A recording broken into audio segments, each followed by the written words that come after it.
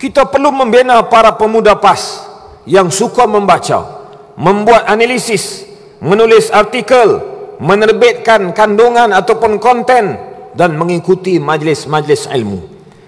Secara kiraan mudah, lebih separuh daripada pengundi muda berusia 18 hingga 40 tahun memberikan undi kepada PAS melalui Perikatan Nasional. Daripada jumlah itu pula mungkin sebahagian besarnya merupakan anak muda yang tidak berparti. Namun mereka memberikan undi kepada kita kerana mereka percaya kita mampu memimpin mereka. Ya. Assalamualaikum warahmatullahi wabarakatuh dan salam sejahtera.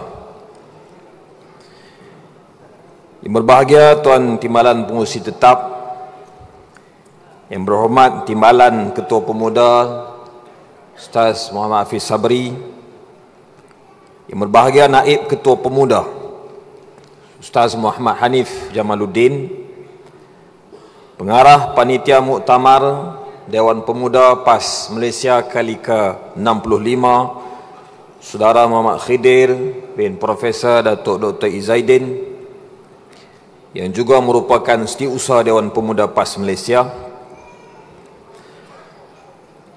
pemerhati daripada PAS Pusat yang berada di atas pentas bersama-sama dengan kita pada hari ini yang berhormat Datuk Seri Dr. Syahidan Kasim yang hebat dan dahsyat ahli kuasa PAS Pusat tidak lupakan seorang lagi pemerhati PAS Pusat kekanda saya dalam dunia kepemudaan iaitu yang berbahagia Ustaz Nasruddin Hassan Tontowi yang juga merupakan mantan Ketua Pemuda PAS Pusat bagi sesi 2007, 2009 dan 2009-2011. Seluruh saf kepimpinan Exco Dewan Pemuda PAS Malaysia, saf kepimpinan Ketua-Ketua Pemuda PAS Negeri, saf kepimpinan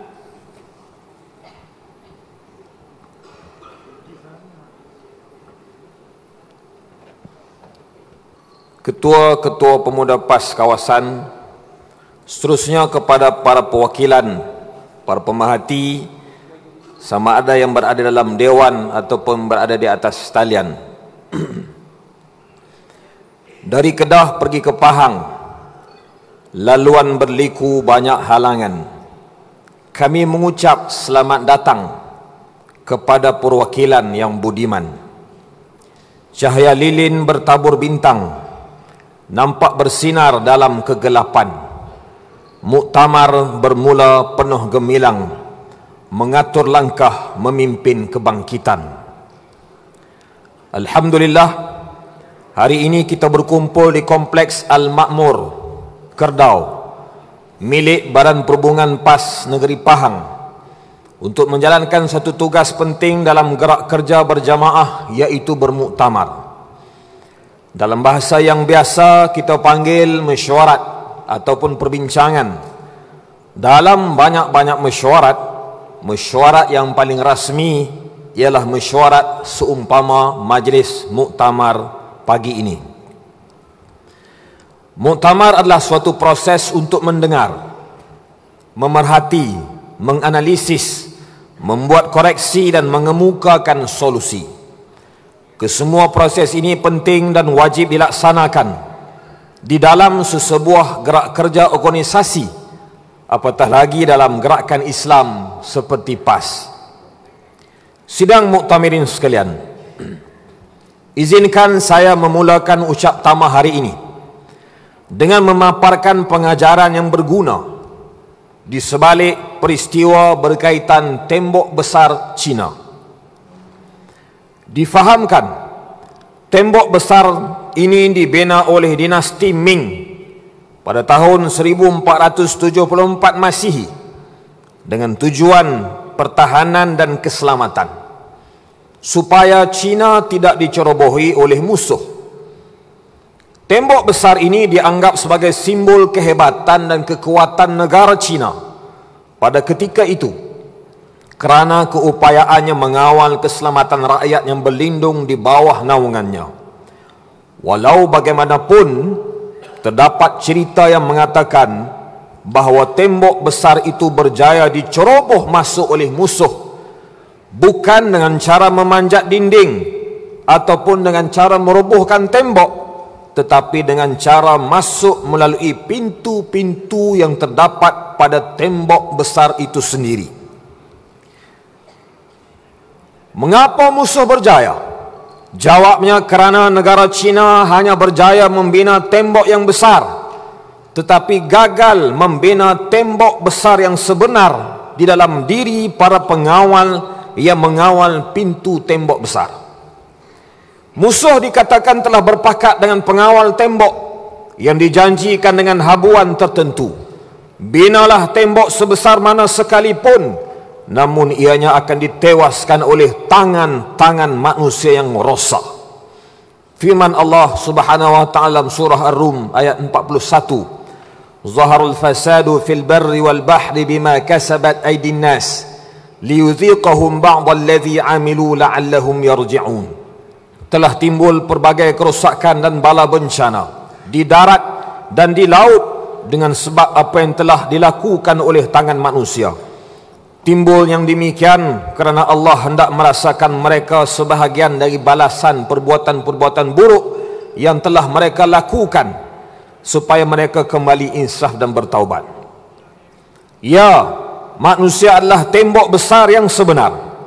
Selain daripada tembok fizikal yang dibina sebagai benteng, manusia adalah benteng sebenar untuk mengawal manusia lain, untuk mengurus tadbir bumi, mengikut acuan dan aturan yang ditetapkan oleh Allah Subhanahu wa taala.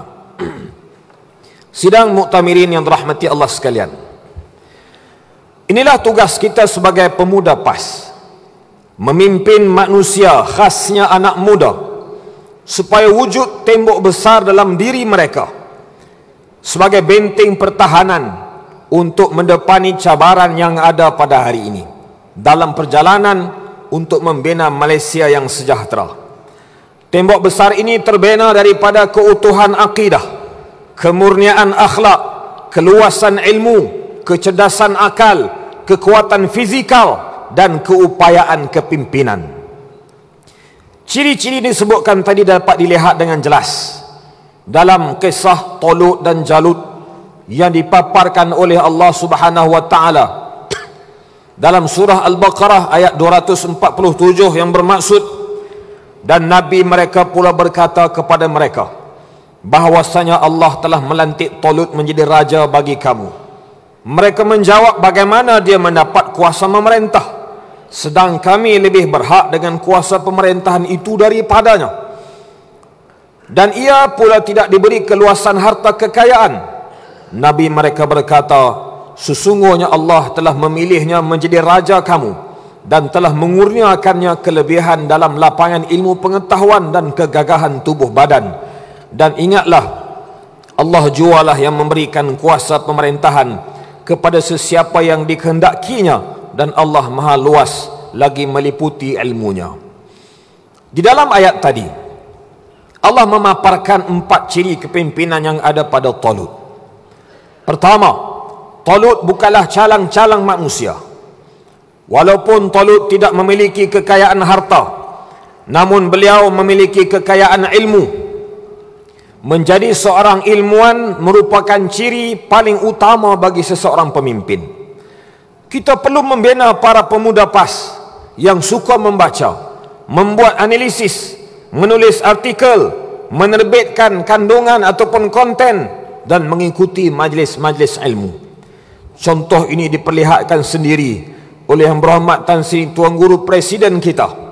Walaupun jasad Tuan Guru semakin dimamah usia, namun ketajaman minda dan keupayaan daya juangnya mengalahkan kita yang masih muda.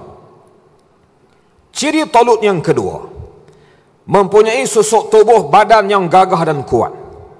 Ini menunjukkan kekuatan fizikal atau luaran sangat penting dalam membina kepimpinan.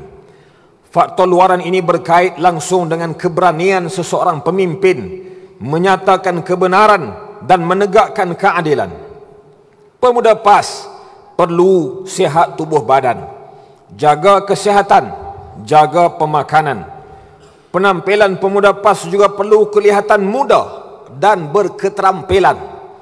Pemuda PAS mesti berani berdepan dengan musuh, bukannya lemah, longlai dan lesu.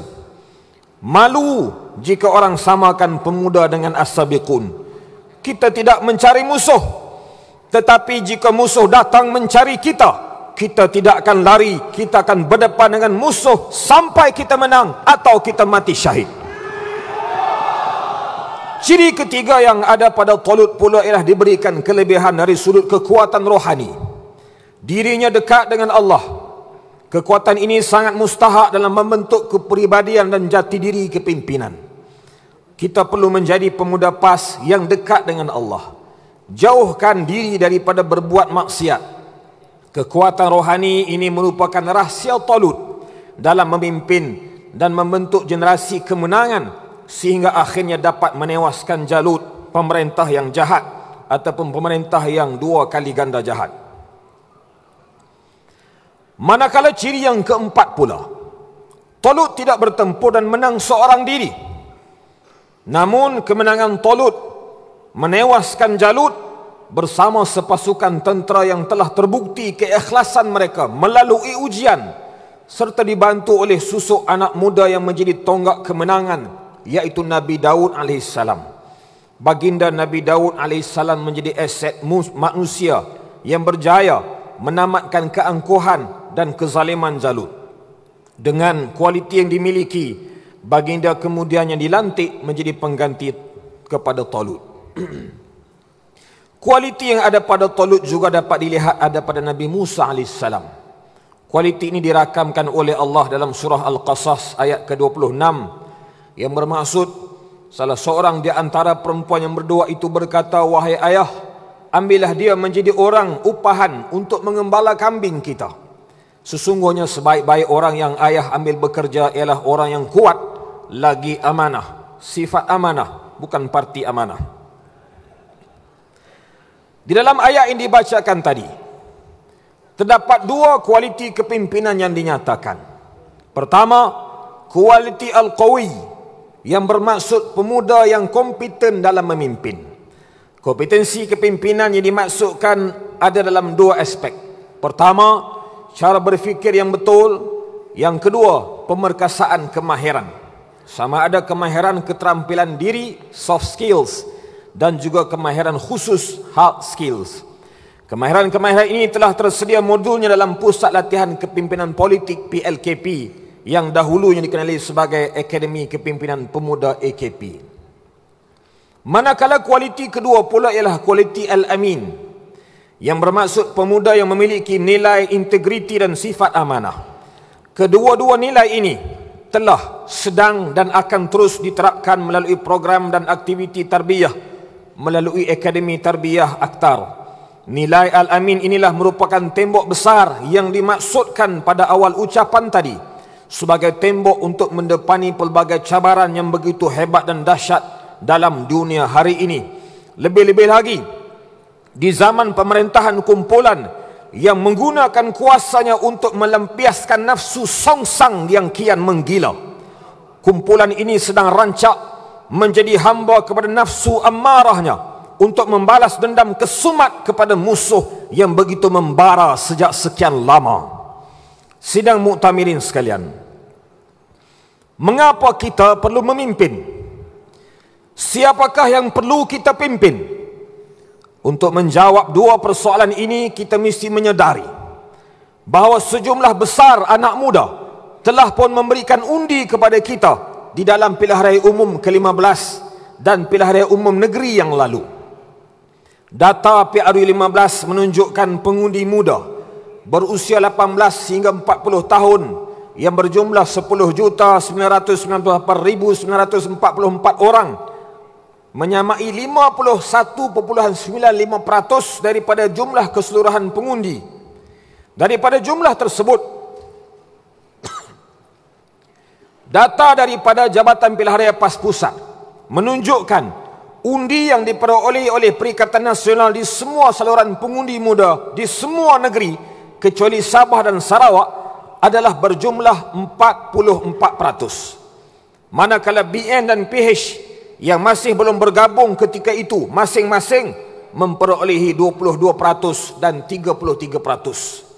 Ini keputusan PRU 15 tahun 2022. Walau bagaimanapun ketika PRN 15 pada tahun 2023 setelah PH dan BN bergabung dengan gabungan Songsang sokongan anak muda kepada PN khususnya di enam negeri iaitu Kedah, Terengganu, Kelantan, Negeri Sembilan, Selangor dan Pulau Pinang didapati meningkat. Data pengundi muda itu dapat anda lihat dalam paparan buku Cak Tamai dipamerkan. Namun ada sedikit angka yang tersilap iaitu pada negeri Kedah PRU 15 2022 PN memperolehi 63% bukan 32%. 63% sila betulkan buku yang tercetak itu ada sedikit kesilapan. Secara kiraan mudah, lebih separuh daripada pengundi muda berusia 18 hingga 40 tahun memberikan undi kepada PAS melalui Perikatan Nasional. Daripada jumlah itu pula mungkin sebahagian besarnya merupakan anak muda yang tidak berparti. Namun mereka memberikan undi kepada kita kerana mereka percaya kita mampu memimpin mereka. Ya, mereka telah berikan kepercayaan mereka kepada kita, kepada PAS. Tidak mudah untuk seseorang memberikan kepercayaan kepada seseorang yang lain. Melainkan setelah dia mengenali budi pekerti serta meyakini akan kejujuran dan kebaikan seseorang. Begitulah caranya isteri kita jatuh hati kepada kita satu ketika dulu. Dia sanggup dinikahi kita. Sanggup menjadi pasangan hidup. Sanggup berkongsi segala-galanya. Duka ataupun suka. Sanggup mengandung dan bertarung nyawa melahirkan zuriat keturunan kita. Wahai para isteri yang sedang menonton di rumah. Dengarlah ayat kami pada hari ini.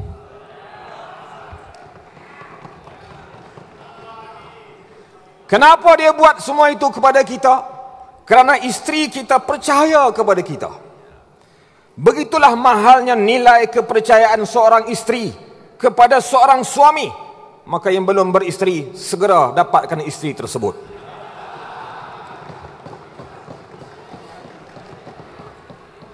Termasuk yang di atas pentas.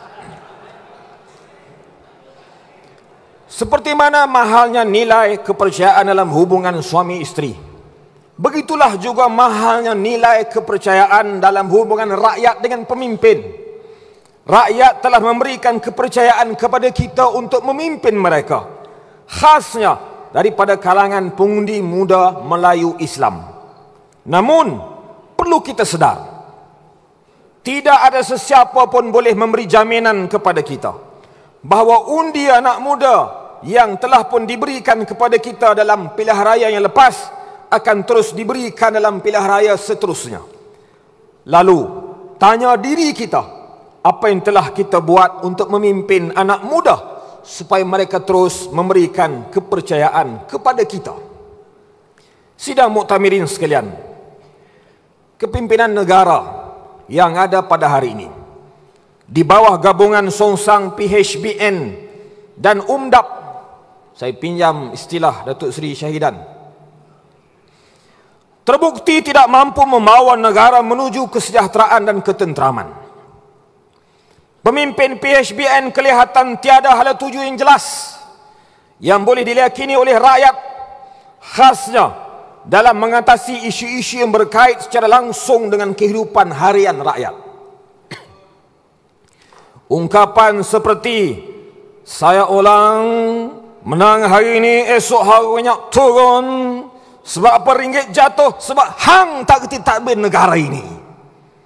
Ungkapan-ungkapan ini sudah menjadi seloka lawak jenaka ataupun troll oleh rakyat jelata. Setakat pengamatan kita, belum pernah ada seorang Perdana Menteri yang terlalu banyak menjadi bahan troll oleh rakyat melainkan Perdana Menteri yang ada sekarang ini. Setuju? Segala ungkapan dan janji reformasi yang dilaungkan sejak tahun 1998 dahulu kini nyata gagal ditunaikan apabila memiliki puncak tampuk kekuasaan.